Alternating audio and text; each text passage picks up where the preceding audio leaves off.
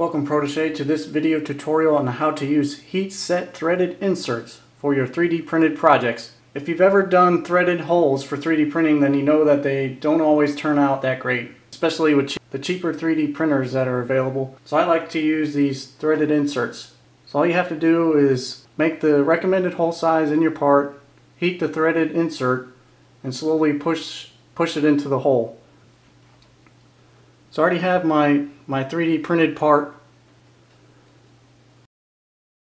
and I have these threaded inserts from initeq. This comes in a really nice case and it even labels each insert which is really nice because sometimes it it doesn't come with the labeling so you don't know what is what but these come with a number 4, number 6, number 8 and M2, M3, and M4s, heated inserts. And these are nice because they come with, try to zoom in on this for you guys. These have little grooves on the outside so the material creates a stronger bond.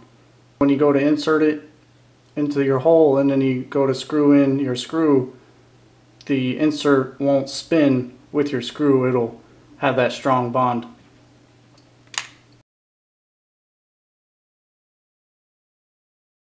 I'm using a Weller soldering iron. I already have the heat set insert attachment. You could use a soldering iron tip, but you want to be careful because sometimes the the tip goes past the insert and if you push it in too far then it will start to melt the plastic. So I'll give you an example.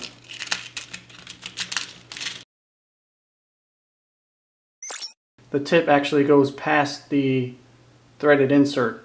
So you want to be careful with that if your if your hole isn't deep enough.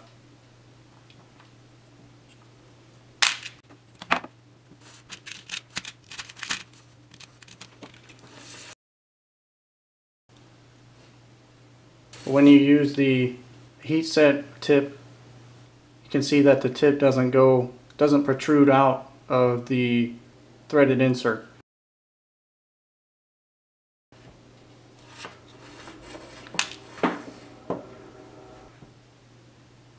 For this 3D printed part I used number 6 holes and what's also nice about this kit is it actually gives you the recommended hole size so I'm using uh, number 6 and it says to the optimal hole size is 0.206 or 0.185 to 0.206 inches.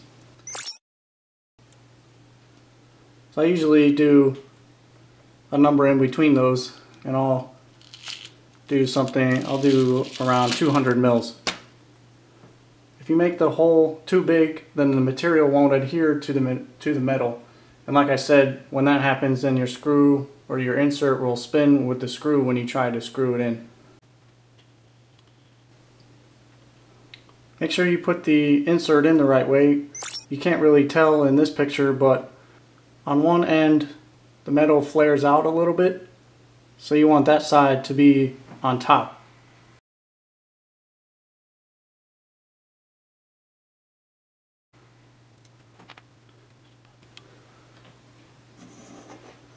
Once your soldering iron is done heating up, go ahead and place the insert on top of the hole that you made in your part. Insert the soldering iron into the insert. Give it a minute to heat up and slowly press it into the hole.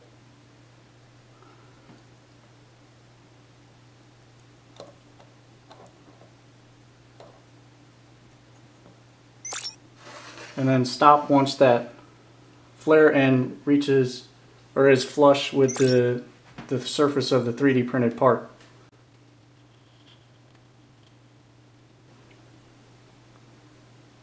So it's in there it's in there nicely. Be careful not to touch the the insert because it's still pretty hot. I'll go ahead and do this one for you.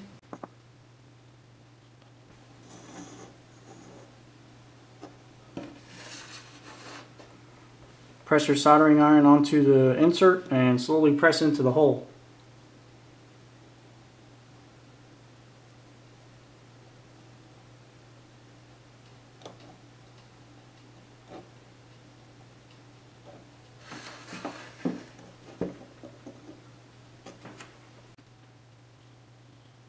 And now we have placed two of the inserts into the holes. That's it for this video tutorial. If you like what you saw, please subscribe below or leave a question or a comment. Thanks.